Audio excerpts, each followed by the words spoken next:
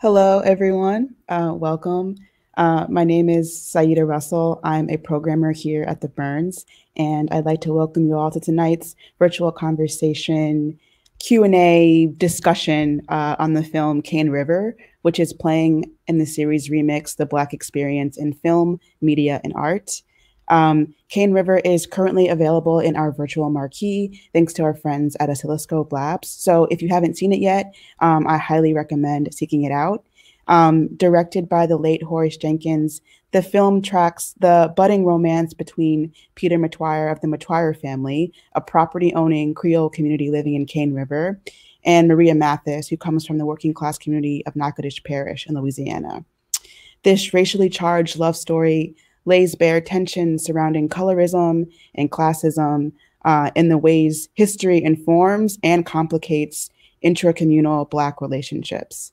Um, but before we get into uh, the discussion, I want to introduce our guests for the evening.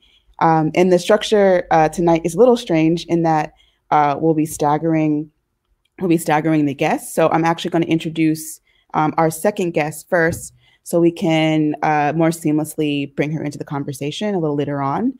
Um, so we'll be joined by actress, producer, director Tommye Myrick, who beautifully portrays Maria in the film.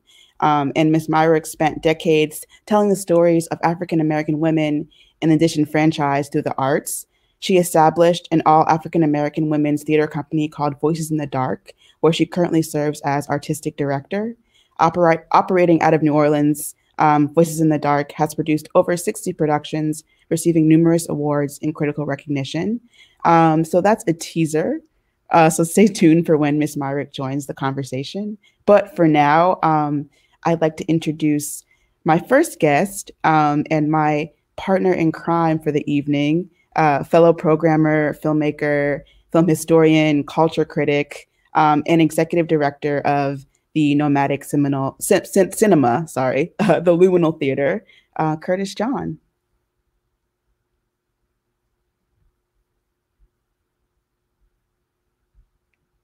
Curtis, can you hear me?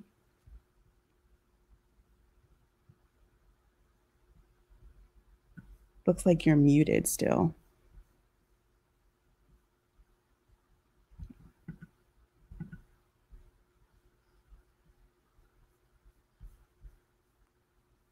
Curtis, are you able to unmute yourself?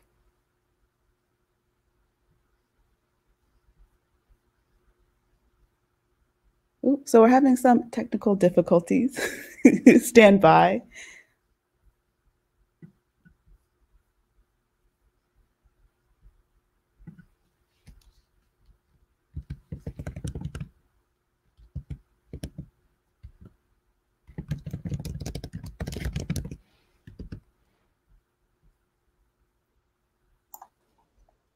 Hello.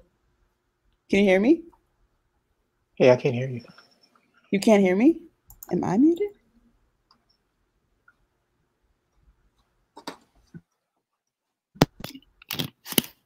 Can you hear me now?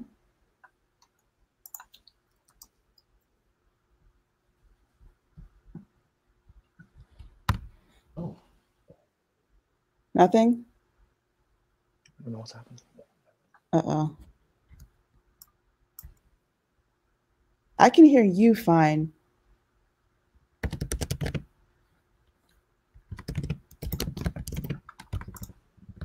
Hello, hello, hello, hello. I can hear you. Can you hear me? I don't know what's happening. Oh, Yeah, we I'm sorry. I can't hear you all. I don't know what's wrong. I apologize. It was working no. before when we were on. Hello? Mm-hmm. We can hear you. This I is so apologize, fun. y'all. I don't know why it's you okay. can't hear me. I'm sorry, why I can't hear you. Apologize.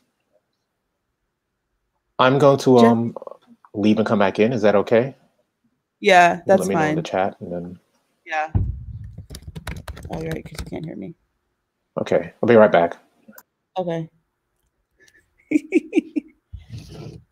this is what happens when you are live, ladies and gentlemen. It's exciting. so we're gonna wait for Curtis to come back on. Um,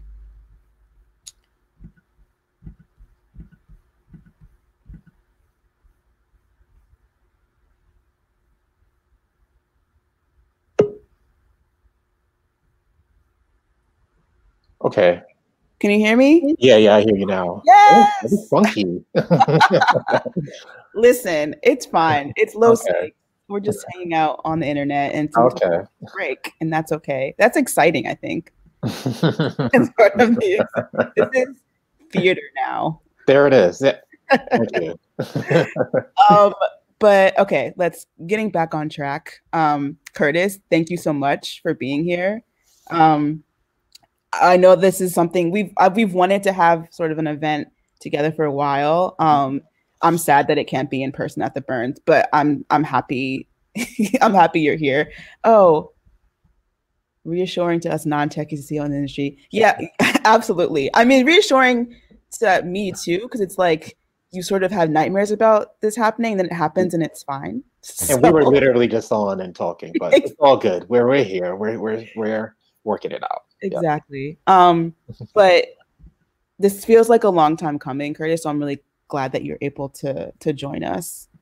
Thank you. And you know, I- I've been a long time uh lover of the program programming you all do, the Burns, and of your work as well. So I'm so glad to to be here with you all. So Um, so I mentioned in your uh, intro that you are the executive director of the Luminal Theater, and I just wanted to give you uh, some time to maybe talk about um, your organization and what you guys do, and plug any sort of upcoming stuff you may have. oh Yeah, tell us more. Is that putting you on the spot? no, no, not at all. That's what I do all day. Um, and I'm always happy to to talk about the work we do because we're very proud of it. Absolutely. Well, you know, the Luminal Theater, we're a nomadic cinema, meaning that we travel from place to place and put on different types of uh, film presentations, specifically geared and targeted toward the Black community, and really just working to remove as many barriers to entry as possible about getting uh, different types of Black film out to the to the community. So actually doing these films in various places, but doing them especially in Black communities, especially like in spaces that you might not always find theater. So with community gardens, um, street corners. I mean, so many different spots, uh, community spaces in a period. And we have coming up, uh, we're starting to do some more work outside of New York. We've obviously been virtual all year like you have, but um, but we're doing some stuff out in New York and Columbia, South Carolina right now, where I'm currently uh, am, and we have a drive-in that's starting this Friday. Uh, so we're gonna be showing The Wiz, and we're showing an independent local film. Funny enough, by a filmmaker who's living in Brooklyn right now, but from Columbia. Um, so we, me and him, yeah, we reverse we reverse faces. Uh, Joseph Micah Johnson, who's uh, studying right now at uh, Feirstein uh, Graduate School for Brooklyn College. Um, fantastic school. I've shown programming from out of there, and um, so Yeah. so yeah, it, it's it's it's we've been doing good stuff, and on our and our our drive-in is actually sold out already. Uh, oh, congratulations. after- thank you, thank you. It's just Awesome. literally like a little less than a week of uh, of um, marketing. So yeah. that's I mean, who doesn't want to see the Wiz at, at any time? And it feels especially sort of necessary to have that like comfort and escapism right now. Absolutely, absolutely. So, I'm not. I mean, uh, uh, you know, it's funny because I'm not usually a fan of musicals, Mhm. but it's not about me. It's about providing the stuff for the community. Right. It's what Uh, the so- people want, Curtis. Yeah, yeah, yeah. Oh, absolutely. I, I 100% believe in that. So, Yes. So yeah, no, no, no. But uh, as I'm saying, I'm not a fan of musicals. I mean, how can you deny the music in the Wiz? I mean, Yeah. that that's ridiculous. I was in in doing a little test of the film. I was singing along to you know the last film, to the last. I'm sorry, the do you? I don't even know the titles. I'm bad with music, but like you know the with Diana Ross goes on and what Dorothy goes on, and uh, can you if you believe or whatever its title is. Yeah. I, I've- I was like I knew the lyrics of it, so obviously it speaks to me. So yeah. Anyway, It's embedded. Yeah. embedded. Yeah, there we go. um all right well thank you so much for for pitching and i really encourage for those of you maybe unfamiliar with the luminal theater and the work that um, they and curtis are doing to check out their website and see their upcoming programs and support if you can um, but to the task at hand cane river wow i i kind of think that you know the background behind this film is almost equally as interesting as the the movie itself because this was something that was you know very nearly lost to history Um, so I don't know, Curtis, in like doing research or prep for this, if you looked into why the delay of this movie was was what it was and um, the story behind it.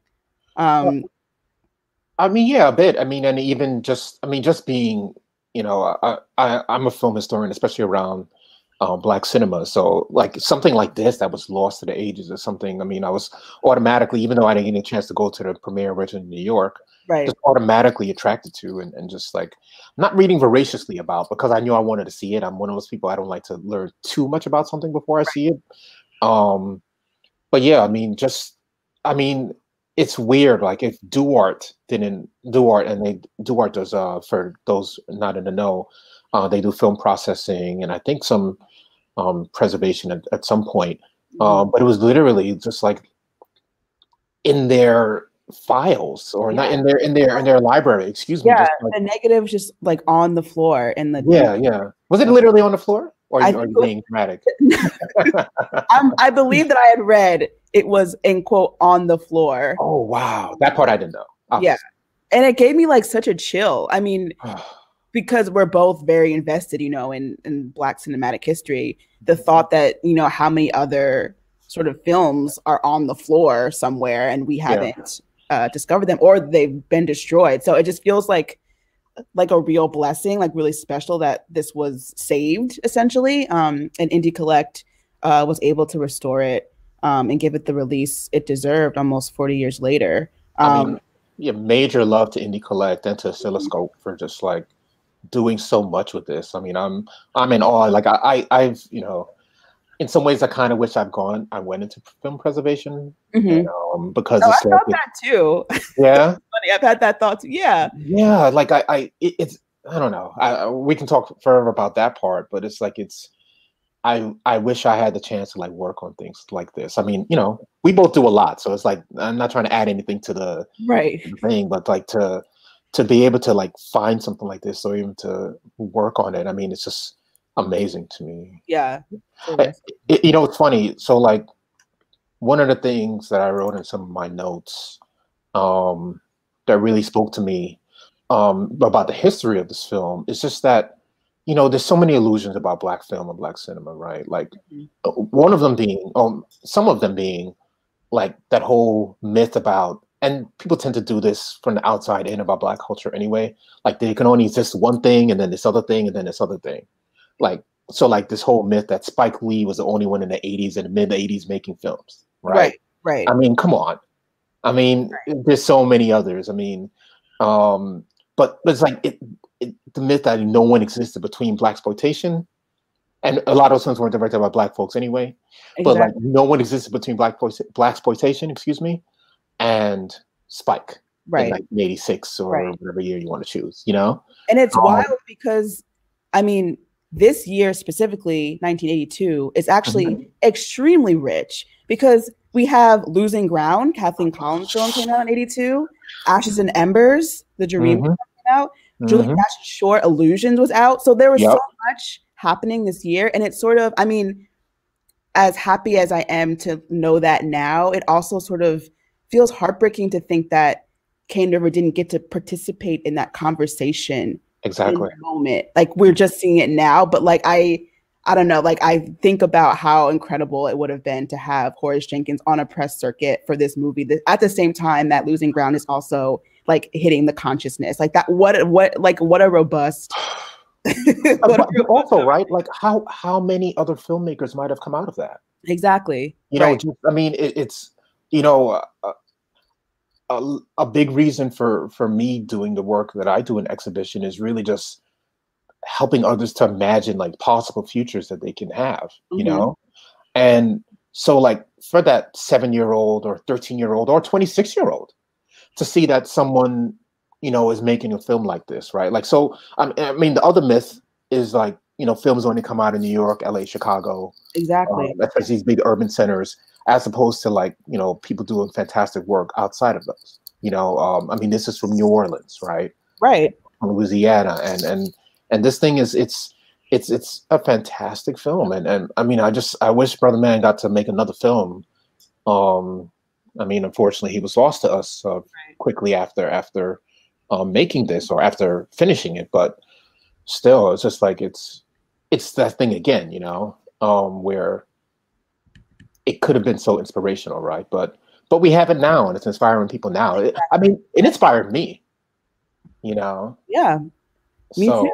And I mean, it's. I mean, you mentioned that you you missed it um, when it was screening as part of To Save and Project, and I also. I mean, I missed it in that I dragged my feet in buying a ticket, and then by the time I tried to sold out,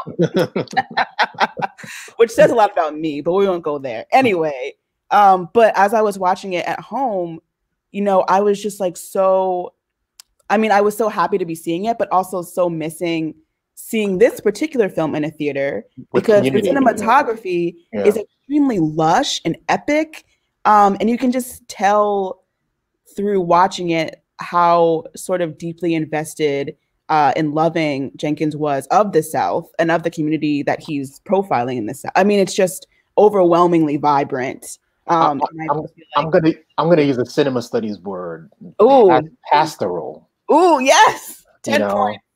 Yeah.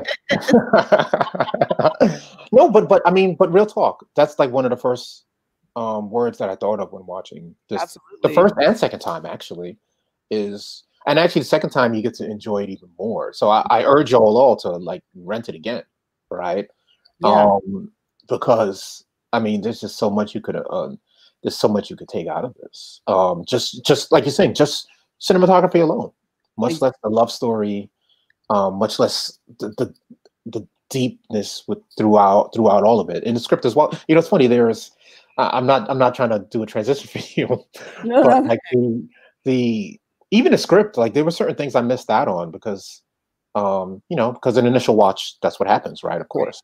Um, but like the script is tight, you know, like brother had them, and whoever else worked on it had some like really. I keep saying brother, but hope Mr. Jenkins, Horace Jenkins.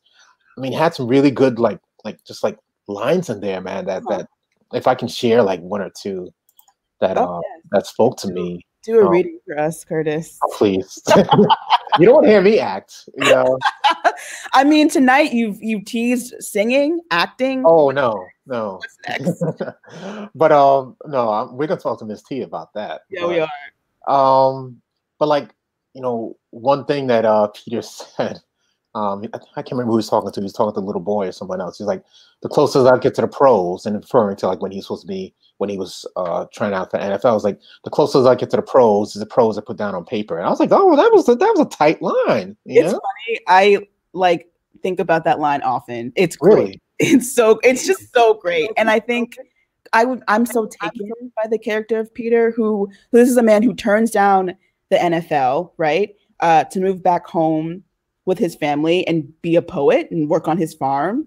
Um, and it just feels so sort of opposite of the narratives of black masculinity that we that we usually see i mean sort of like the struggle to make it to get out these aspirations mm-hmm. for wealth and power and i just love that peter's character rejects all of that materialism and and maybe broadly like capitalism maybe there's some anti-capitalism critique there um oh absolutely yeah, yeah. But, but also like it, it's funny because these conversations you know like some of us um have been talking about these things, and I guess other people have too, because it's it's a big part of like organizational, especially with this year, organizational uh, discussions is like what success is, mm, right? Exactly. Yeah. Um, and and this at a time of you know early Reaganomics and and coming out of the the the economic downturns of the 70s is really just like like really touching on you know these economic principles. I mean that even goes back to the land and all that stuff which yeah. we can talk even more about. Um but just the idea of what success is and you know all these people like I mean, and they're not i don't think most people are judging peter. Maybe his dad is a bit. Um but just like you turned down the nfl to come back to cane river to come back right. to the to the, the boonies exactly like, yeah, man, I did. I don't want to be feel like a slave on an auction block. Exactly. Right? He, to retain his autonomy, his agency, mm. you know, to be back amongst people who have value and who love him. You know I mean? That I mean, I just that spoke to me so deeply to like reject fame, fortune, power, um, to be amongst people who know you, to be mm-hmm. amongst your own people. I don't know. Mm-hmm. I like that. I like that narrative. I agree. Um, but what do you think? Should we should we open up uh, and bring Miss T on to join us? Absolutely.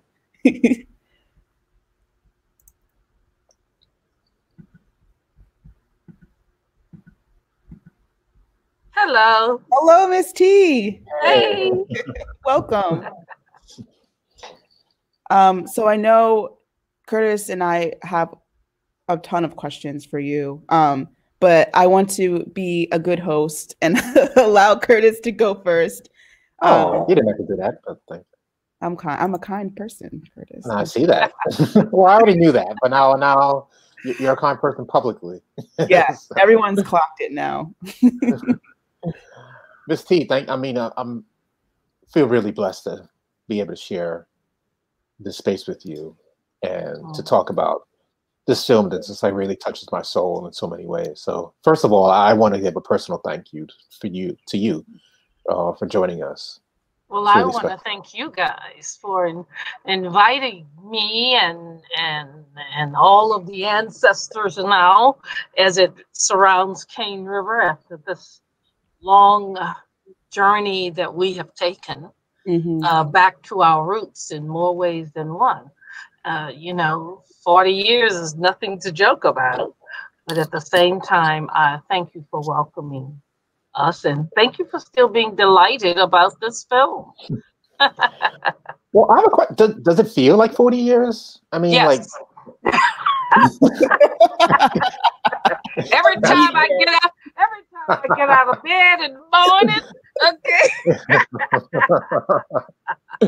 yeah, it feels like that, years let, let me ask that in a different way. So from, yes, from, please, from, from, first seeing the film, uh-huh. from first seeing Cane River, and like um, getting back into it this year, earlier this year, especially, right? Does that did it feel like when you when you first saw it again, did it all like just come back, or like was that did that old familiar feeling of like even being on set and, and like seeing it for the first time um in a theater, did that all just like whoosh back on you or or like or did the history feel not to get maybe depressing but did the history just feel a bit heavy for you I'm it was wondering. a bittersweet bittersweet bittersweet okay. very hmm. bittersweet um, um bitter because um I realized that about 80% of those connected to this film are no longer with us. Hmm. Uh, sweet in that finally, finally, it is and has resurfaced. Um, I, I had not seen the film in 37 years, not 30, 30, 37, 38 years. Um, um, and didn't even know that it was in the New Orleans Film Festival until somebody, my, my phone started blowing up and people saying, Congratulations. And I'm like, What? What? And they said, Cane Rivers in the New Orleans Film Festival. And I went, What? What do you mean? And so um, I sat there and I saw it, and it was very surreal uh, feeling. I I watched it as a, as a, a very distant, distant, far away, reminiscing memory. then when I saw it again, and that was in uh, at the Ebert Film Festival, I began to watch it as a director that I am. Uh, then when I saw it last year, was the first time. No, and when I came to New York, uh, that was the first time I actually watched it as an audience member mm. and, and and and as a spectator, and really enjoyed it. You know, there you go. Yeah. Long answer. I'm no, sorry. great answer. I mean, I think that makes sense because yeah. it's so jarring. I'm curious yeah. what the experience was like for you, you know, to have spent so much time filming this and being invested in it and then for it to disappear did you think about it over the course of your career like wonder where it went or what happened did you no. have you didn't think about it you just no. Uh, no, I didn't because um, Horace um, became a friend of mine during the shooting of the film. I did not know him. Mm-hmm. And then, but after the filming was over with, we both lived in New York. And so did his his his girlfriend at the time, Carol Baltazar. And so then we became even good, even better friends. And um, as a matter of fact, uh, the week before he died, he had Thanksgiving at my home, mm-hmm. and he and Carol.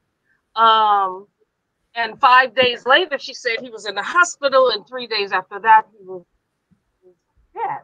And so after that, I kind of buried Cane River with Horace. Mm. Um, and that was it. So no, I did not think about it. Um, every now and then people will say, "Yes, you were in Cane River," and I'd say, "Oh yeah, yeah, yeah." I don't know, and that's it. Moved on. Right. Yeah. Hmm.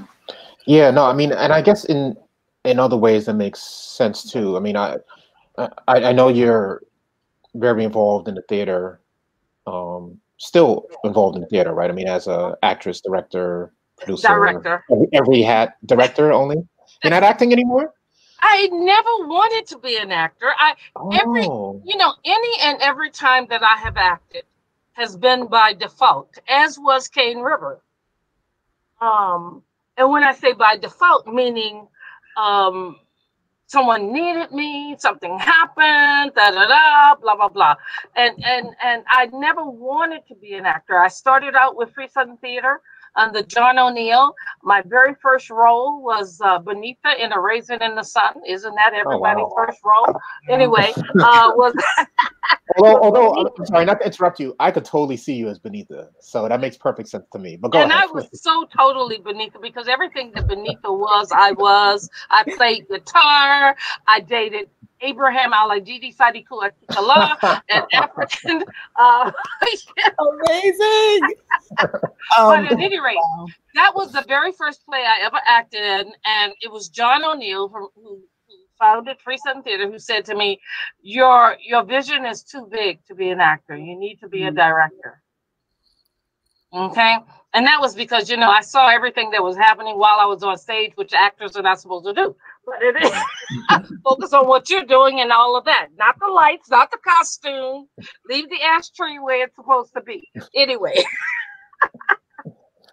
so at any rate, um, so so every every role I've ever had was by default, as was this one. Pamela Poitier had the original role of Maria, for whatever reasons may be. I don't know what it were, what it, what, what they were, but um, um, after about two or three weeks of filming, it didn't pan out. And then someone said, you know, there's a woman, there's a girl who's about the right size. She's about Pamela's size, same complexion, and she's from Louisiana. And she's a very good friend of the family. I think she would come down and do this and step right into it. And so um, they called me in New York. Um, I answered the call. Of course, no cell phones back then. They asked me if I knew how to ride a horse and if I knew how to swim. I told them yes, I did not know how to do either. But at any rate, I wanted to be in the film. So I, they flew me down and that was it. The rest is, is history. Well, I mean, I don't want to hype you up or put you on the spot too much, but for someone who's saying that they have no interest in in acting, your uh-huh. portrayal of Maria is so natural and she's so vibrant. And I'm curious what it was like because just watching that movie, like as a spectator, spectator, I can feel like the familiarity, the love, and I'm just curious what it was like for you on set. Did that sort of was was the the the warmth that we get in the movie was that sort of did that start just because of all the love that you guys had for each other while filming because it really feels that way. Well, I didn't know anybody on the set. I didn't know Richard. I didn't know Carol. I didn't know uh, Alunga, um, who played my brother in the film. I didn't know anyone. And remember, they had already been filming. Mm-hmm. So I and and and film and you know time is money in film as in everything. But um, at any rate, I had to just step right in. So so the the scene that that we filmed at the table. I hardly knew the lines, you know, um, and I just rolled with the punches, and and just I was being myself, and they were feeding off of me, and I was feeding off of them, and that's how you have to wing it. So then, with that, was there like, and I'm losing the word, the term, but like, did you just like were you just kind of like riffing off of each other or, or like was there room was there room to improvise i don't know why i couldn't think of the word improvise um, um, um, most of the um, most of the script was written mm-hmm. um mm-hmm. a quick study but there were two scenes in there that was completely improvised um one was purely out of frustration uh on my part um, and that was the part where you may remember when I meet his sister. And she starts asking me these questions. The interrogation. The yes. interrogation. and I got so frustrated that all the stats that I gave were mine. That was at the top of your head. That's they, they were mine. And, huh? I said that's such a great moment to think yeah, that it was... It, all the stats were mine, and and so when she laughs, it's a genuine laugh because she really didn't know how to respond to that except to laugh. And then I laughed. And of course, that breaks the tension between the sister and Maria. You, you know, it's funny. I asked that question, and that was actually the last scene that I watched. So, really, so that, that's really telling. So I'm, I'm good. That that okay. That, and now that, that now that was was out of frustration.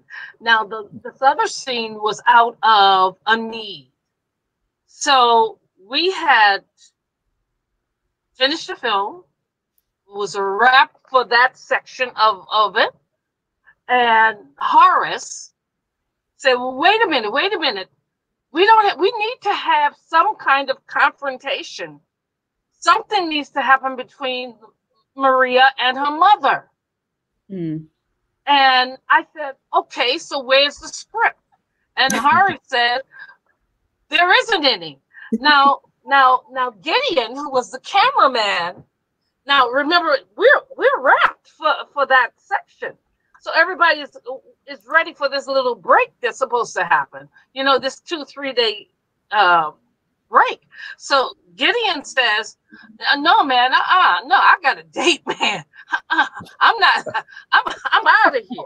Because remember, now now you have to understand we're in Cane River, so we really are in the country. You know, mm-hmm. so go, going to Natchitoches, which was you know miles away, you know, it's a break. It's a break. There are bars there. There's you know all of that. Gideon said, "No, man, uh-uh." He says, "Man." Says, "Man, come on, said, "Man, I'm out of here." So Horace just put the camera on a tripod because if you remember, there's no cutting there. There's this straight on. He put the camera on the tripod and he says, "Okay, go for it." So that whole entire scene was completely ad lib. Mm. That scene oh, of you stayed with Peter. Yeah.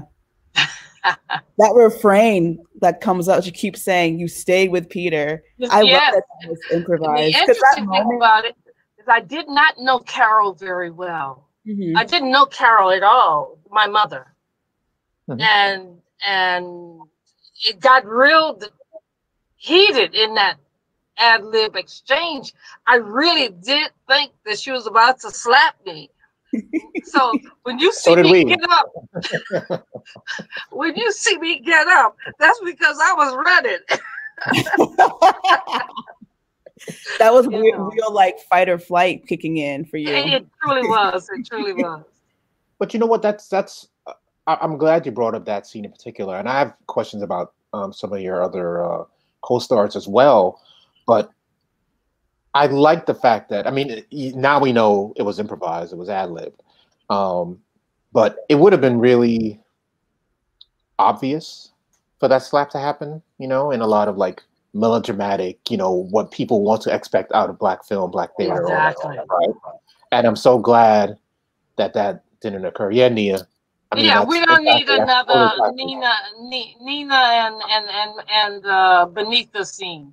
Mm. Yeah, know? exactly. Yeah. Right. And, and and and that scene is fine and powerful in Raisin, right? But but it just it's too emulated and no. Absolutely. All right. But it's funny too that you bring up uh Raisin because now knowing the backstory of why the camera was static, because that scene feels like theater to me, right? Like it's mm-hmm. it's you're sort of just like watching the stage um and like watching actors on the stage and it's so affecting. And I just there are so many like moments like that in Cane River that I I am guessing were sort of born out of like necessity or, or a need to improvise that actually yeah. make the film feel very textured and very homemade um uh-huh. in a way that's really endearing and really like authentic so right. yeah I, like love hearing about the behind the scenes yeah. the made and Absolutely. yeah can, can you talk a bit about working with uh with richard Romain i'm, I'm apologize i'm jacking up pronunciation of his name but um, can you talk a bit about working with Richard? It's funny because like also in a rewatch, although definitely originally, like brother looks like he walked out of like Ebony Fashion Fair. You know? oh yeah, right, huh? Right. I mean, the mustache alone, and and then you know he, he's really tall and and and he's a poet. So we're talking about Peter now more so than right the character. Yeah. Can you talk a bit um, about working with him and and I guess I mean just like interacting with him and, and dealing with, you know, this romantic topic, this romanticism, but then also like a lot of the colorism issues that are brought up um, between both of you and between your families as well. That whole Montague Capulet type of way. Okay, right. So, so there's a difference in talking about Richard and then talking about sure. our families in terms of in the in in the context of the of the movie. Richard is a very very lovely man and and he is just as handsome now as he was 40 years ago. Um, there was absolutely zero attraction that we had for one another. We were mm-hmm. so much like sister and brother. I mean, truly. But Richard had never acted before. This was it, and he called it his one and done. Um, um, he is the nephew of the of the producers um, and the first cousin of the ex, of of the uh, one of the producers as well. So he uh, he was so open, so giving, so he was moldable. You know what I mean? And and yeah. then because this was his one, um, and I being a director by profession, as he is teaching me how to swim, I'm teaching him certain things that we we about acting. Mm. So we kind of spent time doing that together and and and and sneaking out at night to go places that we were supposed to be going, you know. But uh, and getting back in before it was time to shoot again. But um, but we are so much still like brother and sister, you know. Um, when we went to New York, you know, and it's interesting because I I I didn't remember Richard being that tall, hmm. but he's six three, and uh, it's only when we went to New York again and I was standing side by side and I saw myself looking, and I said, "Wow, I just didn't remember that." You know, um, I ne- I had never ridden a horse before, and, and Richard helped me with that, and and and the swimming and all of this other kind of thing. So it was it was wonderful uh, working with Richard. I think also because truly a gentle man. Mm-hmm. Uh, and all the women and all the girls were after him. You know what I'm basically saying? you know. But uh, working with Richard was was wonderful. You know. Um, you know, within the story of Cane River, I wonder whether or not your audiences, including you, knew that there were three love stories within the story of Cane River. Um, the first love story is between Horace Jenkins and Carol Baltazar. Now, Horace Jenkins was the producer and the director and the writer. And Carol Baltazar was his girlfriend and one of the writers, and also in and and is from was from I should say, Cane River. Hmm. So it is Carol who brought Horace to the Cane River area, mm-hmm. and together they sought out producers and people to do the film of, of Cane River. That's the that's the first love story. The second love story, you may think is in chronological order, is actually that of Maria Therese and Pierre Metoyer. Mm. Okay, and um, they are the ones who brought this Metoyer dynasty and the Melrose plantation into fruition. Mm. And it is that story that feeds into Maria, Marie, Maria uh, Mathis, and now Peter Metoyer, who is a direct descendant of Maria Therese and um, Pierre Metoyer, uh, Metoyer. So those are the three love stories within the story of Cane River. Hmm.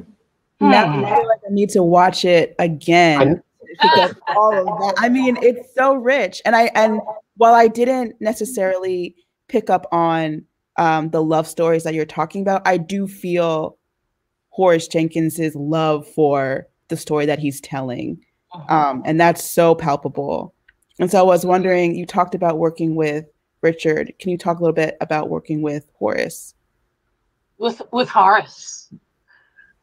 You know, um, Horace was a very serious filmmaker. Uh, if you've ever seen his son, Sasha Jenkins, Sasha, when I saw Sasha for the first time in 38 years last year, the first thing I did was walk up to him and touched his face because he is the spitting image of his father. And I looked at him and I said, Horace. Working with Horace was was really, really um, funny, uh, fun but serious. Mm. Uh, but what I liked about Horace is that uh, he didn't stress me out. And by that, I'm saying he knew that I was stepping in because I was a family friend of the producers. He knew that I was a director, and so therefore I had a director's eye. Mm-hmm. Um, he knew that I didn't like acting, but I was doing it. And so he kind of let me roll with it. You know, as a director, you have to know your your actors and you also have to know how far you can push them and know when to say, "Hey, you know, this may not be the way I wrote it, but this is pretty good. I think I'll keep it that way." You know, and uh, which is the reason why Spike Lee was so successful with his films because he kind of let the actors find the character, you know. Uh, but working with Horace was was memorable and good and funny. And when we were all set, everybody always got along. There were there was no uh, dissension whatsoever. What I didn't know, though, which you don't recognize if you're in the midst of it, and that was that every single person yeah. on the set and behind the scenes was black, except for the tour guide at the Melrose Plantation. The producers, the actors, the writers, the costume, the cinematography, the sound, the the the the the, the horse stableman, the the carriage rider, the carriage driver, everybody was totally black, mm. and that that in and of itself is a rare Extremely. Especially at that time. Mm-hmm. You know. Oof. You're dropping gems on us. so you're dropping gems on us. I mean, this is this is fantastic. I'm just like mesmerized by your stories of of the set and everything. It's uh, it's beautiful. Um, maybe I got lost in it. I forgot what I was going to ask you, but um, I do want to ask you about also. Actually, I'm gonna you mentioned Carol Carol Balthazar is her last Carol name? Balthazar, Harold's uh, Horace's girlfriend. Yes. Horace's girlfriend. Is there? I mean, I want to learn. I want to learn more about her. Is there any way that is anything you could share with our audiences? Like any like, I don't want to say like any like website links or anything, but like just a little bit more about who she is. Um, I mean, you, you did mention, of course, just now that she um, grew, grew up in Cane River area and. And, Strong you know, she gave moved to New Orleans to come to Xavier University. Um, oh. um, she and I were at Xavier together, even though I didn't know um, she was one of the producers on the film until I got here. You know what I'm saying? Um, but um, uh, Carol Carol passed two years ago. Um, it's so interesting too because at her funeral, it was almost like a Cane River reunion. Mm. I mean, everybody who was still here from Cane River, you know, still with us, was there. And we were all like, wow. And Richard uh, uh, and I were laughing to each other. And I said, Richard, do you think we ever, and this is two years ago, before mm-hmm. anything happened. I said, Richard, do you ever think we'll ever get to see it again? And he said, Yeah, we'll be on walkers and wheelchair. You know, we laughed about it. And then a few months later, it came out and we said, we say that that's Horace and and and Horace and Carol working their magic. Wow. When the film was in, inducted into the Academy of Motion Picture Arts and Sciences archives last year, November 1st, um, Debbie Moore who was the film editor, uh, was excited as all hell because she lived in LA and stuff like this.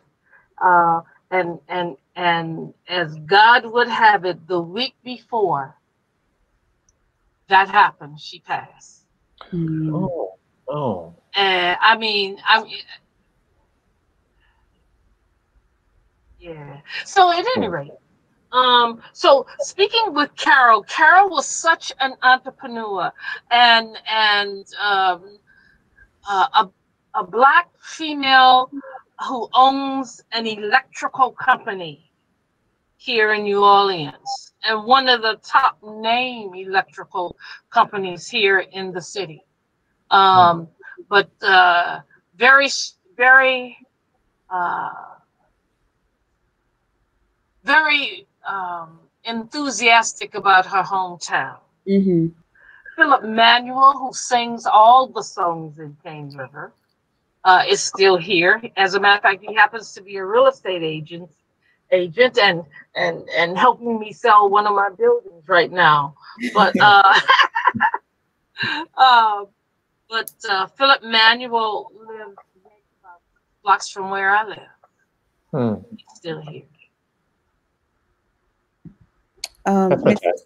Yeah, Miss T, I want to jump back to what you were saying, talking about having an all black cast, all black crew, and sort of how powerful that feels that like we can do for ourselves, especially in an industry that consistently tries to tell us that we, we can't. Um, and I kind of want to use that to jump into um, a conversation about how Cane River sort of couches its politics within this really beautiful, this very sweet love story, but it does feel very political. And in fact, there's a real urgency, I think, about how the film talks about land ownership and the Black community and oppression and systemic, systemic racism. Uh-huh. So I was wondering um, what it was like for you sort of jumping into this film uh, as it was sort of moving along and dealing with all of those uh, those very heavy issues did you and Horace have conversations about how this movie sort of was more than a love story, I guess. You know, you know, I want to, I want to, I want to, I'm going to answer that, but if I forget it, put a pin in it and remind me because I'm old, so I forget stuff. But it. I want to, I want to say something to you about how it feels powerful. You know, in terms of the all black cast of the all black, it doesn't feel powerful to those of us who continue to do it. Mm. We just do it. Mm-hmm. Yep. It only seems powerful to those who feel threatened by our doing. Mm. Yep. And it feels powerful to those who need to be uplifted by our power. So as we were doing it, we didn't, it's not about feeling powerful you know, we were just doing what we needed to do because it needed to be told. Yes. You know, um, uh, Lorraine Hansberry got off of her deathbed to give her young, gifted, and black speech. And she hmm. ended it by saying, whatever you do, write about it. Write about it. Those are those are important lines within that speech of young, gifted, and black. Mm-hmm. And so it's it's about a story that needs to be told, but it needs to be told and written by us. And what has been happening is that we have been looking for others to write our story and then expect them to write the story the way we want them to, to write it but it's not our money. Mm. and so what Horace did was find black people who felt as who felt the need to have to talk about the land grab. The Rhodes family, one of the largest black uh, funeral home businesses in the state of Louisiana and shortly into Mississippi. But that is over a hundred years of ownership by their their, their great grandfather. So the land grab is is something that is very very powerful and something that's very um, prevalent as we find two things happening. We find black people who left the South who went to the North, then realize that they have land down South, and then they go down South, and what do they do? The children from the North then decide we're going to sell the land down here in the South. Mm-hmm. But in that in that family unit, there's always one yep. says, no, we are not selling this land. I mean, after all, that's what Queen Sugar is all about. Mm-hmm. Land grab. You know, that's what we see. Have that's what we see happening to New Orleans, and uh, in terms of the of after Cane after Cane River after Katrina, that's what you find happening in the in the inner city, where where you see Harlem. well, it's kind of hard not to be political when you live in a, a, a system, you live in an environment that is all political. Absolutely. You know, your very survival. So Cane River is about the land grab, but it's also about the colonization and the division that we have within our own uh, racial uh, makeup. As as as Redd Foxx used to say, um, white, they say black, black, brown, white, and no, something he used to say, you know, and almost white, you know. I'm cream, I'm mocha, I'm this. We are a rainbow, a mixture of colors, but our our our blackness is within. Mm-hmm. Oh, it is within, and it shines bright in the dark. Absolutely. Absolutely. Yeah. Miss T, you were preaching. Thank you. I'm sorry. no, no, no, no. Are you kidding me? That's exactly yeah, that, that's what we we so. want. You're here, uh, here for. Um, but I will say we're getting close to an hour, um, so okay. we should probably start to um, wrap up. Um, so um, I'll leave it to you, Curtis, if you have if there's any other questions that you'd like to ask um, before we end. Um, I just want, I would just like to hear a little bit more, uh, Ms. T. Um, really, it's about what you're doing and working on these days. Um, and if you can, um, can you share just a little bit of it? Uh, before we were talking earlier off camera, um, we, you mentioned that you lived in New York for a while and you were part of like Negro Ensemble Company and such. So, can you talk a little bit more? Can you talk a little bit about maybe some of your time there, and then talk about like what you're working on now? Well, you know, what you work on. Um, um, I did two two major things in New York, and when I say that, I did theater, but I also taught um, at Touro College. Yes, the Jewish college. Mm-hmm. Um, I taught at Touro College.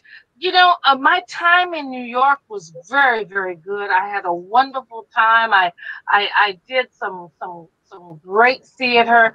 Um, I did the one woman show Zora. I'm, I know you're familiar oh. with that play. Um, have you seen it? I'm familiar. I haven't seen it. Okay. Okay. Yeah. Um, um, um, what's her name? Um, Okay, I can't can't remember her names right now. But then when I moved back home, you know, when you when you when you folks get old, you have to do what you have to do, and you need to do what you need to do. But you know, it took my leaving New York to realize how much I needed to slow down. Mm. You know, um, and so when I came home to New Orleans, um, I don't think I did a thing for a year. But since then, I've taught at the University of, of New Orleans as well as Southern University um, and was the um, artistic director of Southern University as well as the um, um assistant director of the Center for African and African American Studies. I always also was the executive director of the New Orleans African American Museum. Now let's talk about theater and and and the work you know, it's so important to be able to do and to choose shows that that are that have a message, you know, um, and that has a message to talk about our past and bring it to these young people today. There are a lot of great writers out there, and a lot of great writers. I'm always looking for original work uh, to to workshop and to, you know, to produce. And so um, we've been doing theater and voices that that's where we get our name from. Sharon Bridgforth, who's a very good friend of mine and a writer, wrote a poem years ago called Voices in the Dark. And so I, I named my group Voices in the Dark because our mission is to do plays and shows and to pre- present art things, art gatherings that deals with the disenfranchised. And that means the LGBT community. It means the uh, alcoholism and AA and drug addiction. It means uh, abused women. It means African American, the Latina community. Um, these are the shows that, that we attempt to do. Plays that the mainstream America, uh, mainstream, especially Southerners, uh, afraid to do. Very, very cool. Thank you for sharing that. That that sounds fantastic. I'm sorry, I have one more question, Saidah. Yeah. No, go ahead. Go ahead. do you do you Ms. T, do you have do you have any of those headbands from the film? Curtis.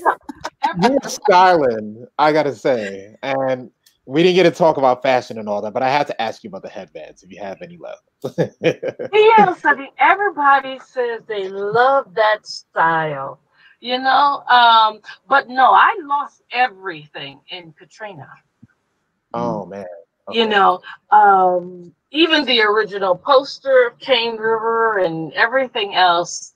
Um, this poster here is a new poster, but the poster, the original poster, I, I lost everything in Katrina. So what's interesting when I did the New York uh, thing uh, February 7th, and I came. Uh, some friends of mine who I had not seen since I moved from New York all came to the thing, to the uh, premiere, and we went to the little restaurant across the street from from uh, from the Brooklyn Academy of Music. And one of the ladies who was there, Armenia, had the poster, mm. the original poster that I had signed and given to her almost 38 years ago. And she said, I brought this poster because I wanted another signature. But I heard something that said you lost yours, and I brought it for you. Oh. And she gave me the original poster of Cane River. That's so, so beautiful. That's yeah. Was, yeah. Yeah. So. There's the poster, folks. Right In the back, is that it? I did something. No, I'm asking oh, no, no. Poster in the back. No, this is the original. Po- this is oh, that's... from the from the uh, the current poster. Okay. Okay. This is the current poster. They they took the scene out of the movie, uh, a frame out of the movie, and they made that. But the original poster is uh, is another poster, and it's over there, but you can't see it. but it's the film. Uh, it's it's the one where Richard and I are in the fields with the horses, and we're talking. Yeah. And he's talking about meeting me in New Orleans. You know. Yeah. Um. Boy, I wish I had that figure. No, that's okay. I can imagine it, and there's something about I don't know us not actually seeing it that makes the story sort of uh-huh. yeah. Original poster, yeah. Yeah, yeah. I don't know. It's just um, that story is like so so beautiful. So thank you for sharing that with us. Wow. Um, and I think that's a perfect sort of note uh, to end this on.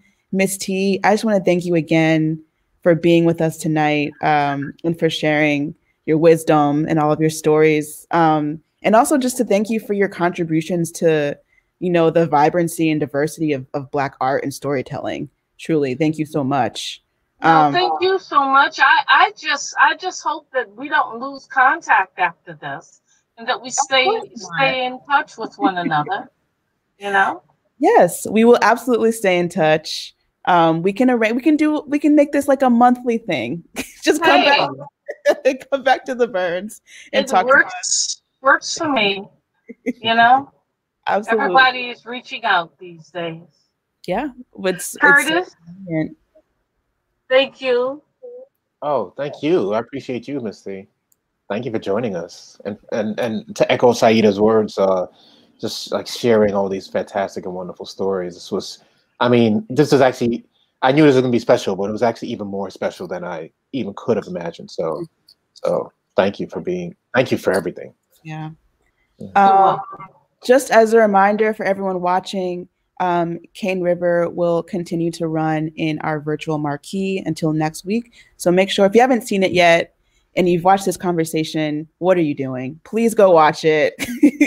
You're missing out on something truly special, uh, truly wonderful, and an important piece of Black cinema history. Um, so yeah, go out and watch that. Um, thank you everyone for joining us, um, and have a good night. good night. Good night, everyone. Good night.